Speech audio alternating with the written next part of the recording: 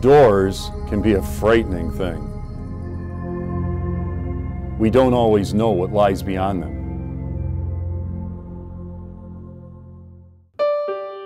Instead, what we want to show you is something exciting. Come on in and take a look. Beyond these doors of Calvary Lutheran Church are people who are inspired to meet and include you. People just like you, ordinary men, women, teens, and children who have come to trust their Savior Jesus Christ and His forgiveness. It has put a smile on their faces and joy in their hearts.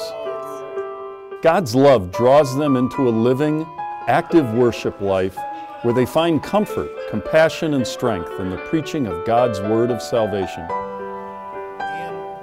Fellowship with Christ that begins in the water of baptism. And encouragement in the vitality of faith that is strengthened by receiving the body and blood of their Savior in the sacrament of Holy Communion. shed for you, Jesus Christ. Many also find a deepening and strengthening of their knowledge of God and Scriptures as they join a Bible study on Sundays or during the week. These special gatherings become the fuel that powers the engine of God's people for a new and holy life, a life of praise and prayer, of love and service, of making a difference in this sin torn world of ours.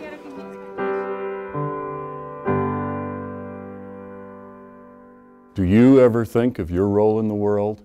You probably wouldn't had you not have met Jesus Christ. But we have, and now an indelible image remains fixed in our minds the scene that took place after Jesus died for our sins and was raised from the dead. All authority in heaven and earth has been given to me.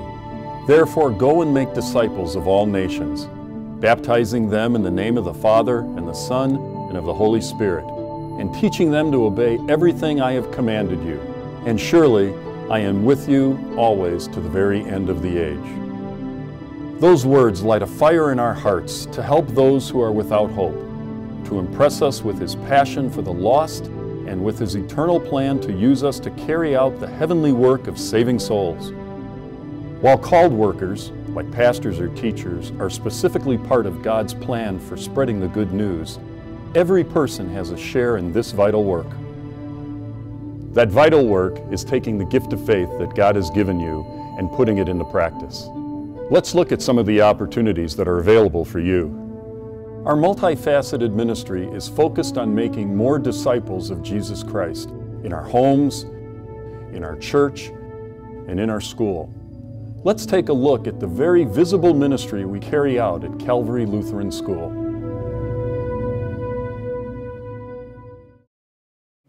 Give me something that he created on the fourth day. The sun, moon, and stars. Yeah, fourth day, sun, moon, and stars. What is the name of uh, one of the other two creeds that we have? Athanasian's Creed. What's the other one? Nicene Creed. Calvary School exists to serve the children ages 3 through 8th grade with a solid foundation of knowledge and understanding, beginning with faith in Jesus Christ. After all, as the Lord reminds us, the fear of the Lord is the beginning of wisdom. We call teachers who are trained to impress that knowledge on the hearts and minds of our children. We seek to offer a balance of academic, technological, physical, musical, and spiritual training, all in a setting of love and acceptance. Yes, Jesus loves me. Yes,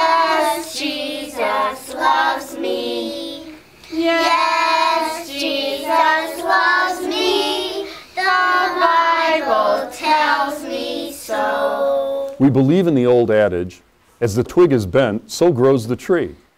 The work we do to deepen a child's knowledge and understanding of his Savior's love will result in long term blessings for both the student and for the kingdom of God.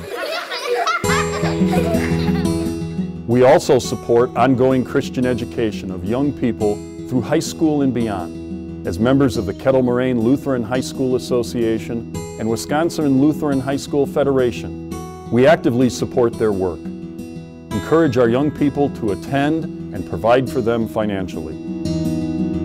Our work with sharing Christ's good news goes far beyond our own walls. We have joined together with over 380,000 Bible believing Christians as members of the Wisconsin Evangelical Lutheran Synod, usually called the WELS for short. The WELS is involved through world missions in bringing Christ to 23 foreign countries. Through multi-language publications with the printed message in 40 languages. And we're growing into new neighborhoods around the United States through home missions. We are touching lives in countless ways with the message of Jesus Christ.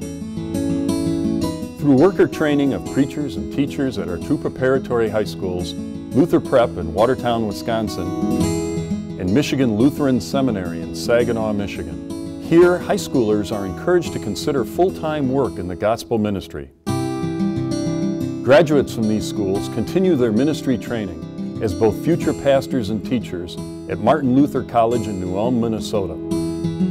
Those preparing for the pastoral ministry complete their postgraduate studies at Wisconsin Lutheran Seminary in Mequon, Wisconsin. The WELS also provides what we need for worship and education through Northwestern Publishing House, providing aids such as catechism, hymnals, books, and devotional materials. Being part of the WELS helps us carry out Christ's saving mission in countless ways we would not be able to accomplish by ourselves. That's why we're glad to be able to support our Synod financially with our congregational mission offerings. But you may notice that most of the work we do out of love for our Savior, in support of His mission, are the little things that many people never see. Like Bob and Dolores, who faithfully changed the message on our church sign even in bitter cold weather and cut the lawn in the summer. Or like Jim, who uses his own truck to plow the parking lot. Or like the money counters who gather faithfully each week to make sure we account for every penny that is donated for this gospel ministry. Or like John, who uses his accounting skills to serve as our treasurer. Or like Fred, who ushers at church services. Or like Hetty and Carol, who serve on the Altar Guild. Or like Darlene, who has taught in our Sunday school for years. Or like Lois, who goes to visit members who are shut in by age or illness. Or like Dan, who keeps the church sanctuary clean and ready for worship services. Or like Patty, who organizes our new member dinners. Or like Dave, who uses his retirement to oversee the property management of our church and school. Or like Megan, who helps watch children while their parents attend Bible study. Or like dozens of others who volunteer to serve our Savior in so many ways. It's people who make up the Church of Jesus Christ. It's people responding to His call of follow me that do the work of His saving ministry. It's people just like you.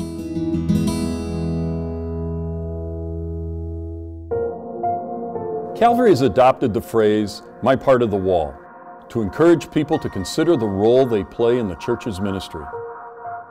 Much like all the people of Israel, were involved in building up the wall around Jerusalem in the time of Nehemiah.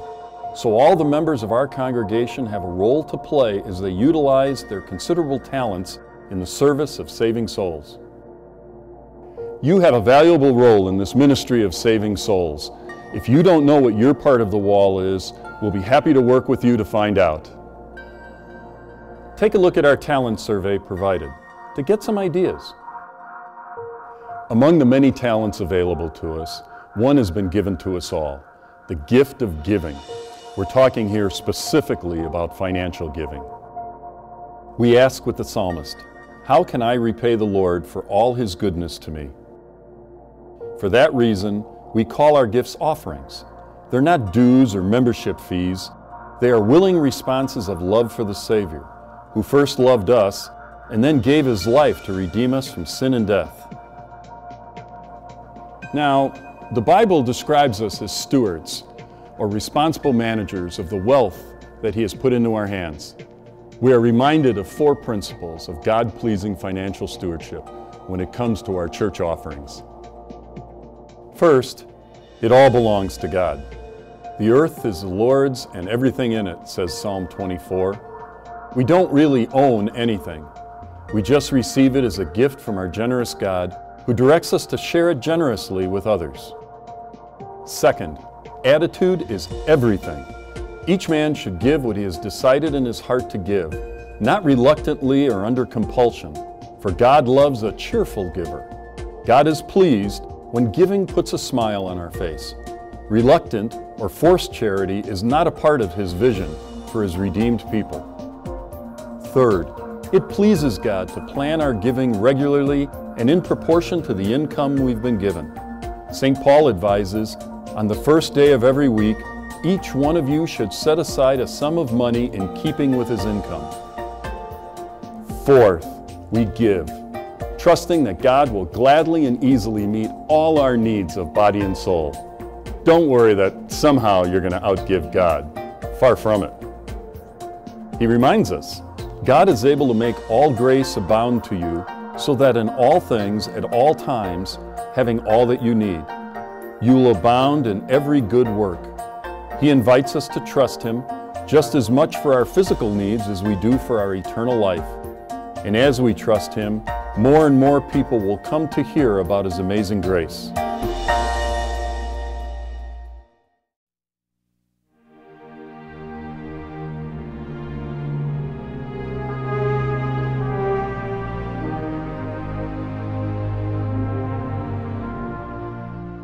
So, what about you?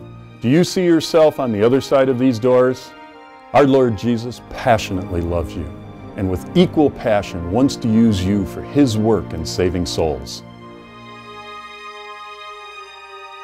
Your faith in Christ, your God given time and talents, your relationships with others, the wealth He entrusts to you, they're all part of His plan. Dedicate yourself to the task of owning more clearly than ever your part of the wall. The wall of salvation in Jesus Christ.